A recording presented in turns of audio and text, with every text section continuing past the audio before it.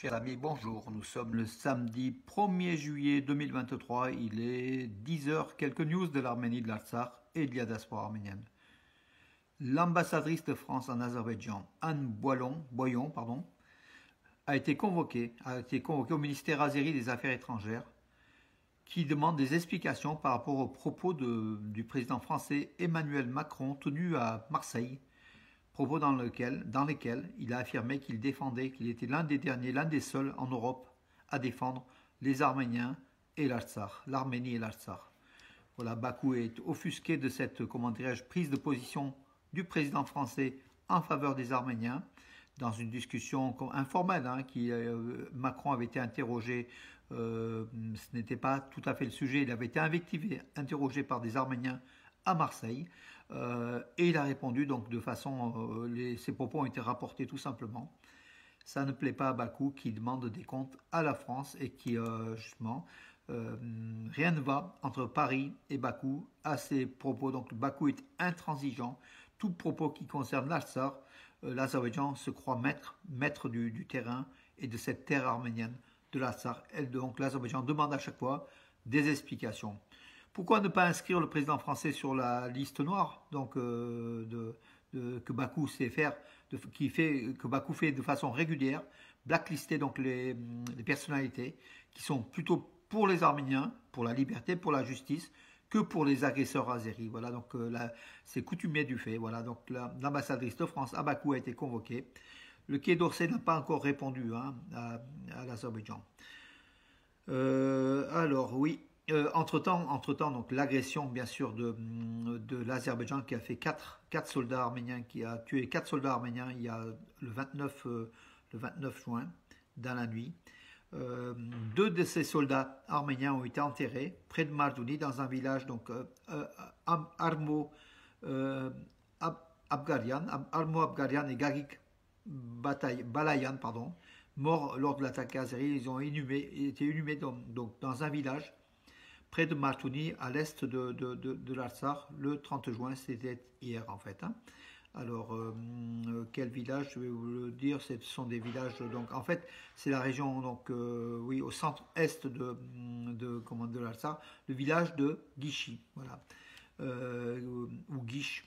En tout cas, donc deux des soldats. Par contre, les deux autres, ils attendent d'être enterrés en Arménie, l'un au Panthéon et l'autre auprès de ses parents des réfugiés donc, euh, arméniens de l'Artsar qui sont retournés en Arménie après la guerre de 44 jours en Artsar.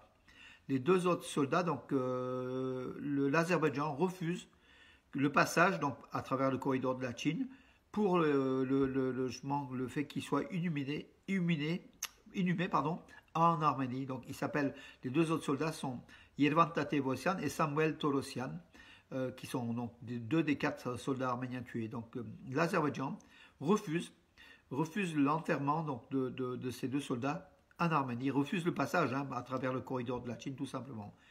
Voilà jusqu'où va donc l'agression la, de l'Azerbaïdjan, le blocus de l'Azerbaïdjan, même pour la mémoire des défunts.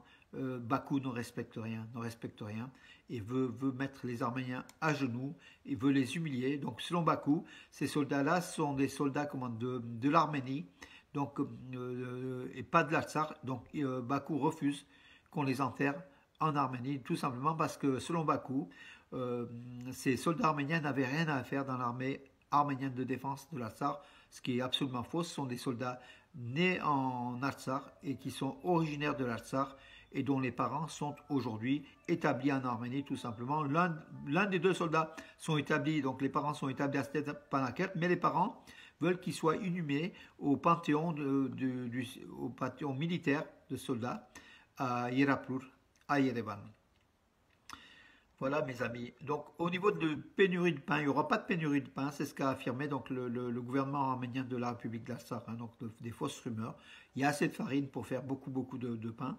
Par contre, euh, suite à des, comment, des informations, des, des informations azéries, euh, les Arméniens de l'Assar avaient acheté un peu plus de pain que d'habitude, donc du coup, ça fait que les boulangeries euh, avaient été en rupture de pain, de pain, mais il y a la farine et le pain va être réalimenté, donc il n'y a aucune crainte pour la population de la Sarre qui vit depuis plus de six mois euh, sous blocus, sous blocus. Voilà, donc la pension minimum en Arménie augmente à partir d'aujourd'hui de 500 drams euh, et pour les pensions et, euh, et 3000 pour le, travail, en fait, le SMIC, hein, le, minimum. Voilà.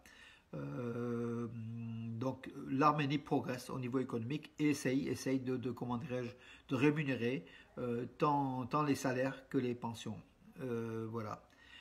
L'ennemi essaye de, par tous les moyens de créer une atmosphère de peur, affirment les habitants de euh, Shankart, c'est près de Maltaket en Arsar, donc au nord de l'Arsar.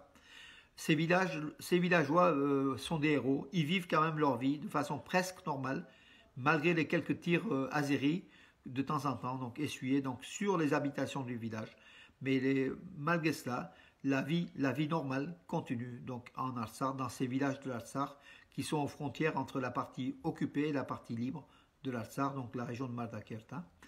Euh, alors, euh, le drame arménien résiste bien sûr face à l'euro et au dollar. Depuis deux ans d'ailleurs, euh, le drame arménien a une, forte, comment dirais-je, est, très fort en fait face aux devises étrangères.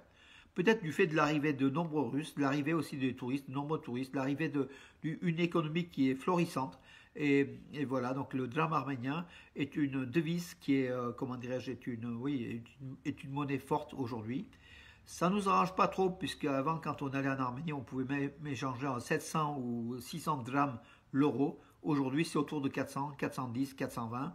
Ça peut freiner un peu le tourisme, mais ce n'est pas trop grave. De toute façon, euh, tout, argent, tout euro dépensé en Arménie, c'est autant d'aide apportée à l'Arménie, comme vous le savez. En tout cas, en plus, donc les, vols low, cost se multiplient en direction de l'Arménie.